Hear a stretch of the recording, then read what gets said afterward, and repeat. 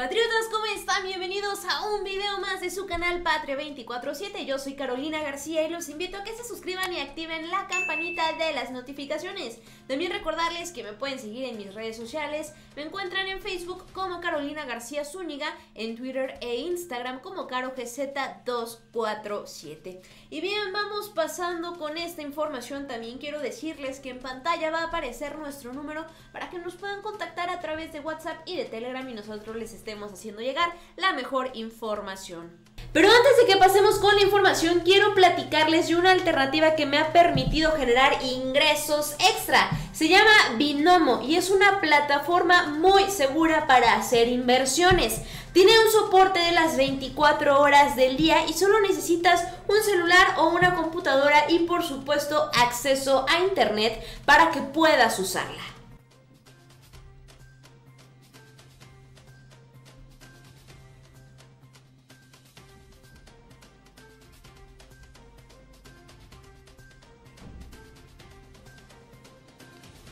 Esta es una inversión hacia la baja de 100 dólares con un ingreso de 130 dólares.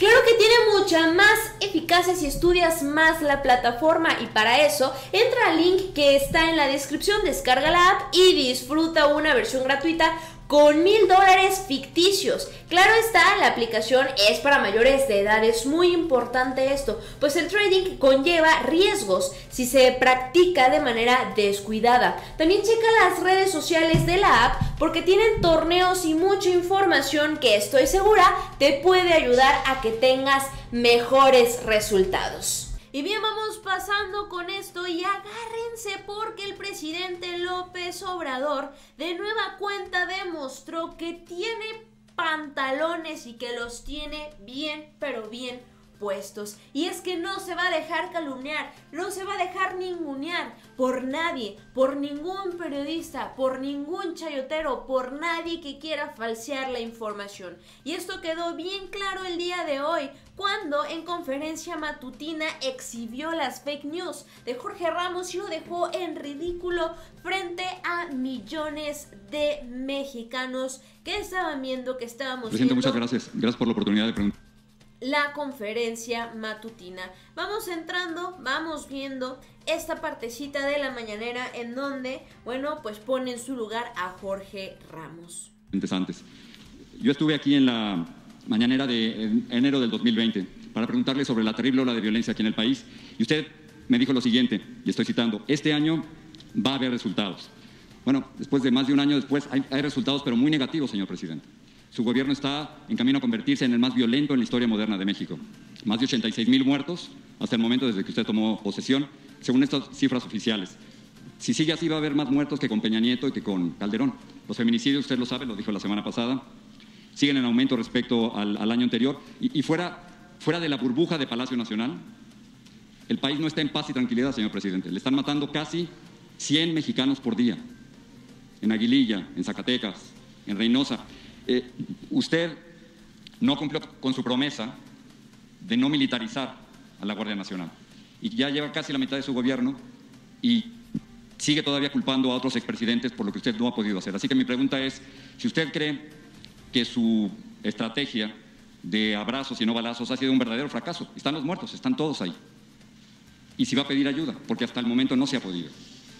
Pues yo no coincido contigo, fíjate que eso es lo bueno de la democracia el que no todos eh, pensemos igual, eh, el que podamos discrepar con respeto y con diálogo.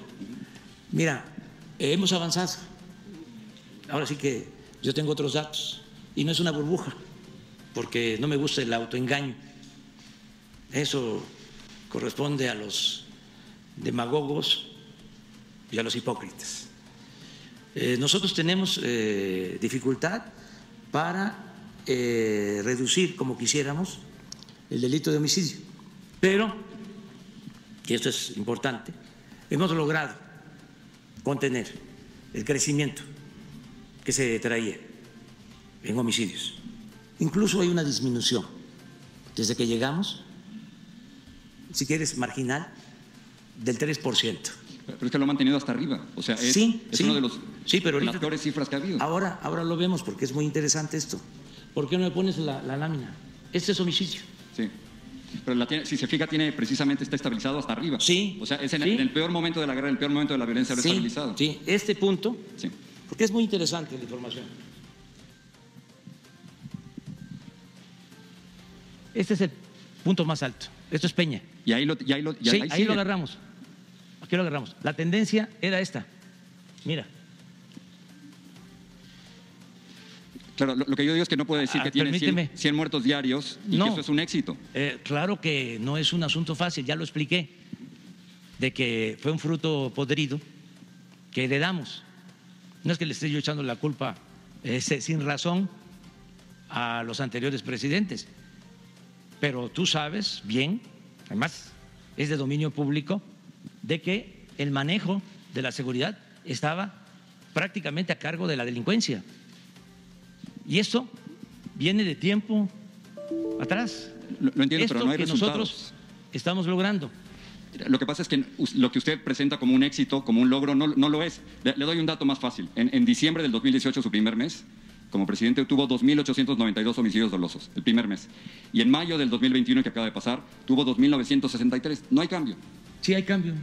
Yo te voy a dar otro dato. No, pero es que ese es el problema. No, usted lo está presentando como algo positivo y no es algo De positivo. 18, es que no, no, este, no coincidimos por eso, Jorge. Es que hay matanzas, hay muertos. Sí, pero no igual. 3.000 al mes. No igual. Es que ya están no los hay números. masacres Es que en el están- país. Y lo de Zacatecas, y lo de Aguililla, y lo de Eso es un Reynosa. enfrentamiento entre bandas, pero no es el Estado, que antes era el principal violador de los derechos humanos. No, no, no es pero espérame, espérame, espérame. El dato de INEGI del 19, eh, con relación al 18, Mi- argumento es que usted lo elige para resolver los problemas del país. Uno de los principales problemas del Ah, país es, la, es la No, no, violencia. no, no. Y, Y eso estamos- ya es su responsabilidad, señor sí, presidente. sí, ¿no? y trabajo todos los días. Por eso, pero no hay resultados. El, el ¿Cómo no? es- Sí hay. Yo respeto tu punto de vista, pero no lo comparto. son solo las cifras de su propio gobierno. Yo las saqué de cifras de su propio gobierno. Yo creo que te dieron malas cifras. No, no, no. Yo tengo otros datos. Por eso, pero es que no, no me puede haber otros datos porque salieron de la página de su gobierno, del Secretariado Ejecutivo del Sistema Nacional de Seguridad Pública. Te vamos a dar los datos y acabo de informar el día primero que en el tiempo que llevamos ha habido una disminución, repito, mínima en el caso de homicidios del 3%. Pero en el caso de robo de vehículo, que es un delito que se denuncia igual que el homicidio, porque no puede haber cifra negra, tenemos una disminución del 40%. Más no en feminicidios, por ejemplo. Permíteme, permíteme, vamos por parte. En secuestro, 40% menos. En robo en general, 26% menos. Me dice feminicidio. ¿Sabes cuándo empezó a tipificarse como feminicidio los homicidios de mujeres? Cuando iniciamos nosotros el gobierno. Hubo, hubo cifras antes también. Antes sí, muy pocas. Pero hubo No cifras se antes. registraba. Ahora hay más denuncia.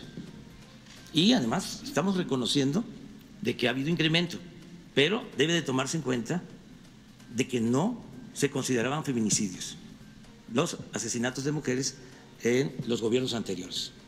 Entonces, vamos a seguir trabajando eh, para garantizar la paz, para garantizar la tranquilidad. Pero- no tenemos este, eh, duda, Jorge. Pero es que yo por eso hablo de la burbuja, porque usted habla de paz y tranquilidad, sale de Palacio Nacional y no hay paz y tranquilidad. Acabo de dar un dato de que, este, te voy a dar, no uno, dos, Sí. este, de que hubieron ele- elecciones mm, de 160 mil casillas, solo no se pudieron instalar 30. Eh, en este país hay gobernabilidad. Y- no, Pero te voy a dar ¿Cuántos otro candidatos le mataron, señor Te presidente? voy a- sí, Eso es una tragedia. lamentablemente, pero en todos los casos, en la mayoría de los casos, eh, se ha castigado a los responsables. La impunidad en este país es más del 90%. No, en lo No, que corresponde es. a nosotros. Es cero impunidad. Ya no hay este, privilegiadas. Me refiero a los asesinatos en este país. La mayor parte de esos asesinatos Sí, no son resueltos. Pero me gustaría que conocieras las cifras, por ejemplo, de los que eh, eh, perdieron la vida durante la campaña. En la mayoría de los casos, y te voy a pasar la información, eh, se detuvo a los responsables. Eh, no quedaron impunes esos crímenes. Ya que estamos en esa, eh, te digo, eh, fue muy lamentable, eh, triste lo que pasó en Bavispe, eh, que asesinaron a tres mujeres, a seis niñas y niños. Bueno, tú al final de tu pregunta hablaste de no aceptar o que no acepto este apoyo, colaboración. Me habló entonces el presidente Trump para decirme que nos garantizaban apoyo y se lo reconocí y creo que lo hizo eh, de buena fe, es decir, no, no era un afán intervencionista, sino decir, a ver, ayudamos. Le dije, no, nosotros vamos a resolver el problema y vamos a aclarar los hechos. Tenemos 20 detenidos, 20. Y hace 10 días se detuvo al jefe de todos ellos. Entonces, hay una gran diferencia de ahora antes, porque antes eh, se cometían delitos y no había castigo, había impunidad, imperaba, así como imperaba la corrupción, imperaba la impunidad, ahora es distinto. Entonces, no es eh, un asunto sencillo, pero vamos avanzando. E- Es ahí donde yo dudo. Si me permite pasar al, al otro tema, porque Sí. es, otro, es otro de sus retos también. Porque hoy, hoy quería hablarle de sus muertos, no solo de, los, de la violencia, sino también los de la pandemia. Quería preguntarle si usted asume la responsabilidad por el mal manejo de la pandemia. Pues es que no coincido contigo. Bueno, México es el cuarto país del mundo con más muertos por la pandemia, a pesar de ser el décimo en población. La- las cifras las acabo de sacar también de su propia página. Ustedes están hablando de 229 mil muertos, cuando en realidad las muertes asociadas al COVID son más de 351 mil según la misma página. No, no entiendo por qué, por qué las dos cifras, señor presidente. ¿Por qué no decir la verdad de que los muertos por la pandemia en México son muchísimos Yo más? lamento mucho que un periodista como tú esté desinformado. Las, las Te cifras voy a de, dar de la ahora, página del te gobierno... voy a dar ahora la información. A ver, eh, la información. Muertes asociadas a COVID, 351 mil. Sí, ahorita te voy a dar la información que tenemos, que es este, de fuentes internacionales, de universidades, incluso de Estados Unidos. Esta información la saqué de su página, señor A ver. Mira, esto es. Pero la fuente, abajo. México es el cuarto país del mundo con más muertos por, por COVID. Esto es lo que este, profesionalmente, Jorge, Sí. debe tomarse en cuenta, siendo objetivos Sí. y con ética. Estos son datos. John Hopkins. Sí sabes. Por supuesto. Bueno. Bájala. Estos son. Baja, por favor. Presidente, aquí el argumento es si, si Ah, no, 350 no, mil no, no, muertos no, es puede- que es muy importante. Es muy importante si Muy puede importante considerarse eso como un triunfo. El, contestarte no. A partir de esto, de esta información. Sí. Porque eh, lo otro es calumnia. O sea, le estoy dando las cifras de su gobierno. No, las cifras de mi gobierno son estas. Mira, desgraciadamente, porque en estos temas eh, no es recomendable la comparación por cuestiones humanitarias. En primer lugar es Perú. Esta es la población de Perú. Sí. Pues ahí está la forma en la que el presidente le fue respondiendo con chingadazos a cada metida de pata que quería hacer, cada puesta de pie para que el presidente se tropezara que Jorge Ramos estaba intentando hacer.